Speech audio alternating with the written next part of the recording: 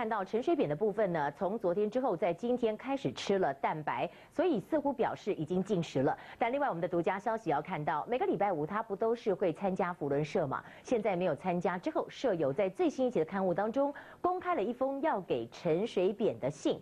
那么在这个信中，他们也进行了签名，包不包括林志玲的父亲呢？中天新闻独家报道。福伦社周五照常开例会，但好友们可没忘了陈水扁。最新一期刊物就发表了一封要给他的公开信。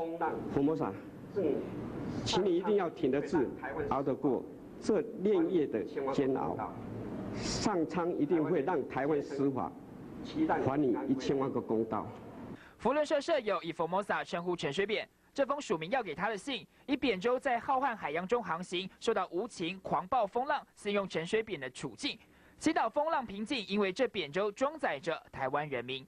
扁上靠也让舍友们心疼，认为此举已经让全世界都看到，还请佛摩萨在狱中要把身体保护好。北门舍友会用双手给陈水扁深深的拥抱，最后署名是北门辅仁社全体舍友给阿扁的祝福。